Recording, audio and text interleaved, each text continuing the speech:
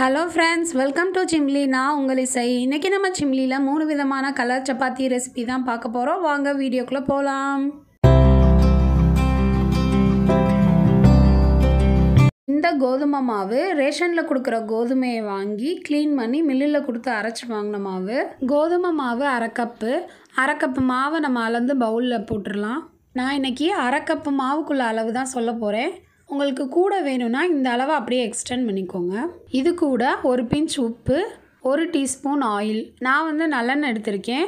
நீங்கள் தேங்காய் எண்ணெய் கடலெண்ணெய் ஆலிவ் ஆயில் எதுனாலும் எடுத்துக்கலாம் இதை அப்படியே ஓரமாக வச்சிடலாம் அரைக்கப்பு மாவுக்கு நான் ஒரு பெரிய கேரட் எடுத்திருக்கேன் சின்ன கேரட்டாக இருந்துச்சுன்னா ரெண்டு எடுத்துக்கோங்க இதை விட பெருசாக இருந்துச்சுன்னா முக்கால் கேரட் போதும் இதை நல்லா க்ளீன் பண்ணிவிட்டு எந்த அளவுக்கு முடியுமோ அந்த அளவுக்கு சின்னாக கட் பண்ணிக்கோங்க அப்போ தான் நம்ம மிக்சியில் போட்டு அரைக்கும் போது நமக்கு வந்து ஈஸியாக அரைப்படும் கேரட் ஸ்லைஸை மிக்சி ஜாருக்கு மாற்றிடுவோம் நான் போய் அரைச்சிட்டு வந்து உங்களுக்கு காமிக்கிறேன் இந்த அளவுக்கு நம்ம நைஸாக அரைச்சிக்கணும் ஒரு சின்ன பீஸ் கேரட் கூட இல்லாத அளவுக்கு கொஞ்சம் கொஞ்சமாக தண்ணி சேர்த்து நல்லா நைஸாக அரைச்சிக்கணும் இந்த கேரட் பியூரேவை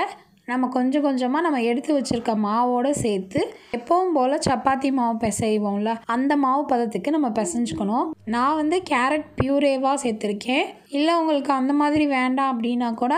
நல்லா வடிகட்டி எடுத்துட்டு நீங்கள் கேரட் ஜூஸாக கூட சேர்த்துக்கலாம் நல்லா பிசைஞ்சாச்சு மாவு காயாமல் இருக்கிறதுக்கு கொஞ்சோண்டு எண்ணெயை தடவி மாவை ஒரு அரை மணி நேரம் ஊற வச்சிடலாம் இந்த மாவு ஊறட்டும் நம்ம அடுத்த மாவு ரெடி பண்ணிடலாம்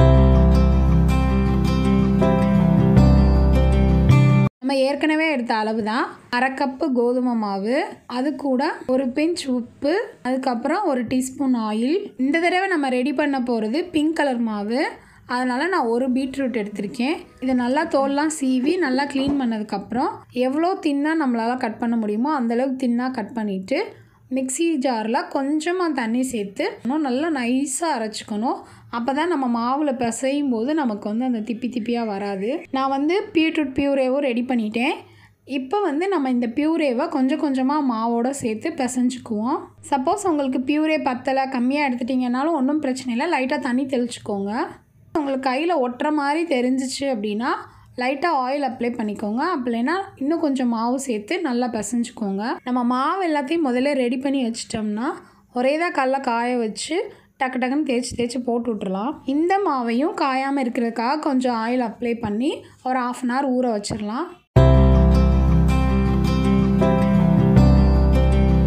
நான் ஏற்கனவே சொன்ன அதே அளவில் தான் மாவு எடுத்திருக்கேன் நம்ம ஏற்கனவே ரெண்டு கலர் மாவு ரெடி பண்ணிட்டோம் இது மூணாவது கலர் இந்த மாவு வந்து நம்ம வந்து பாலாக்கீரை வச்சு பிசைய போகிறோம் நம்ம ஏற்கனவே பீட்ரூட்டு கேரட்டு அதெல்லாம் வந்து ராவாகவே வந்து மிக்சியில் போட்டு அடித்து டேரெக்டாக பிசைஞ்சிட்டோம் ஆனால் அந்த பாலாக்கீரை வந்து நம்ம அந்த மாதிரி செய்யக்கூடாது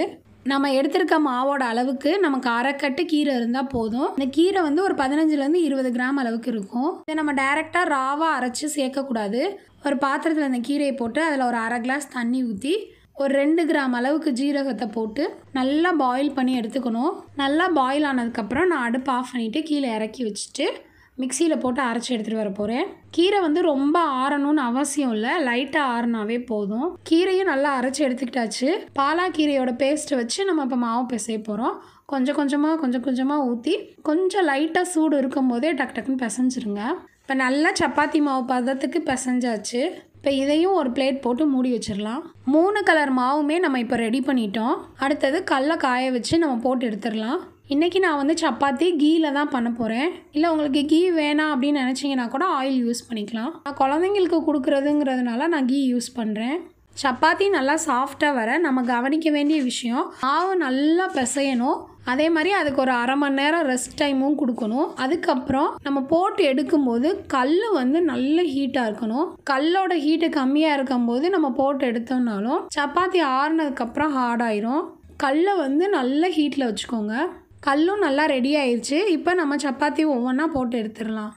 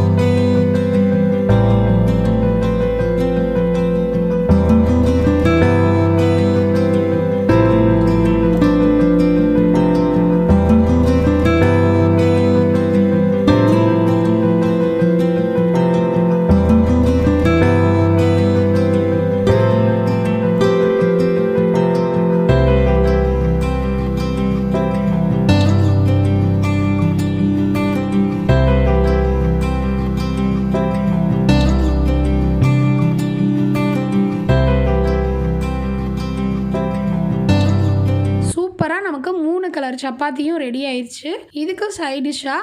நீங்கள் வெறும் தயிரை கூட வச்சு சாப்பிட்லாம் செம்ம டேஸ்ட்டாக இருக்கும் ட்ரை பண்ணி பாருங்கள் இன்னொரு சுவாரஸ்யமான வீடியோவில் நான் உங்களை சந்திக்கிறேன் டாட்டா பாய் பாய் நான் உங்கள் இசை இயற்கையோடு இணைவோம்